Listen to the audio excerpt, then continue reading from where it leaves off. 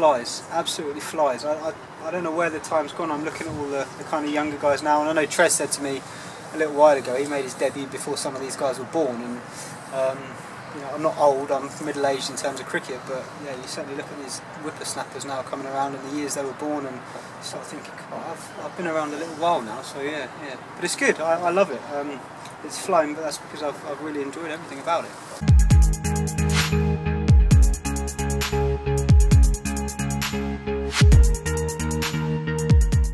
Um, after Christmas, you really kind of hit the ground with all your skills and everything like that. So um, it's really kind of exciting time.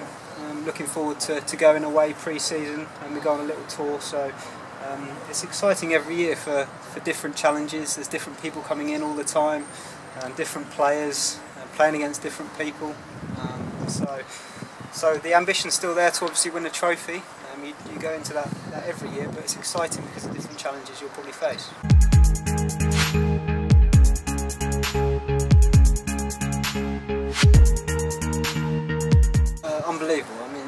Was actually playing a fair bit of 2020 cricket. There's not too many times when I'm standing at the, at the, at the other end feeling in danger. And when Chris was batting, I was genuinely a little bit frightened, thinking anything could happen here because he hits the ball harder than I've ever seen anyone hit it. Um, amazing for the club.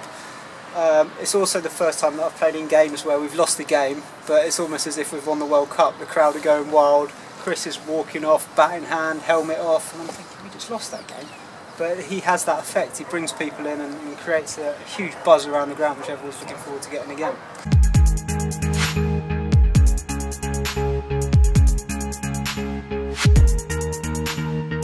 I mean, everyone knows Chris and what he's done in, in county cricket and in international cricket recently. So, um, huge asset for us to come in with the, the number of first-class runs he's scored and his captaincy experience in other counties.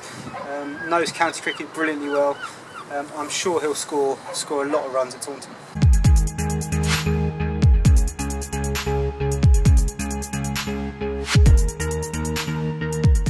Uh, yeah, I think statistically, personally, it was it was the most first-class runs I've, I've scored in a season, so that was pleasing. Um, you always, I think, one of the box batsmen like to tick boxes, and, and um, one of them was to be uh, leading run scorer in the country for a, for a season, and um, tick that box. It was great to score more runs than, than anyone else. Was something that I've, I've wanted to do in my career, so that was that was a that was a plus. Um, but there was tin, there was kind of tinge of disappointment with, with the season. Really, I was pleased with how I went and felt I was I was contributing and scoring some runs, but there was always that air of we're, we're fighting off relegation and we should be doing better than we are. And so it was bittersweet.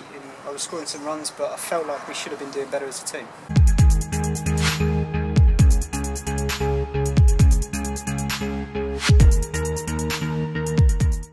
The guys at the museum um, keep coming up to me when I've scored some runs go, oh, you've moved up from 13th to 14th place in the all-time list, and kind of it's great to hear those things. You don't, it's not a focus going into seasons that you want to be jumping above Viv Richards, or it's, you know when when you gets mentioned, it's obviously really pleasing. You think these guys are absolute legends of the club. I think. Um, if I end up playing for quite a few years, it's probably just the fact that I've been here quite a while that I've been able to accumulate those runs. Viv wasn't here um, for that many years. Someone like don't know Jimmy Cook was here for a few seasons. They're you know they're, they're proper players. I think I've just I've been here for a long time.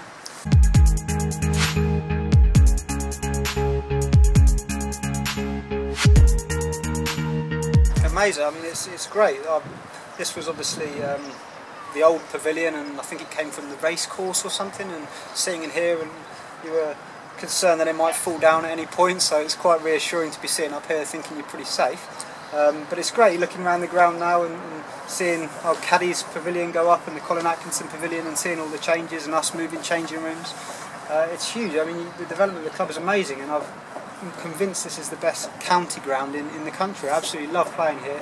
The atmosphere we get is, is incredible with the members coming in and supporting us in white ball cricket. It's, it's the best atmosphere I play in uh, from a county ground all over the country, easily.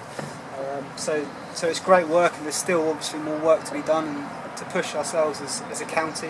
Um, it's encouraging signs how far we've gone since I've been here, since we were bottom of Division 2 uh, to now competing in the championship and, and, trying to strive and keep pushing ourselves forward because I think we punch above our weight as a county. We're the only uh, county ground or county um, that isn't the first uh, test match county in the first division at the moment. All the others are, are test grounds. Um, so I think that's a massive bonus for the club. Um, the members have huge expectations, which is exactly right. Um, but it's just making sure we keep striving to be the best kind of county county ground and, and club in the country.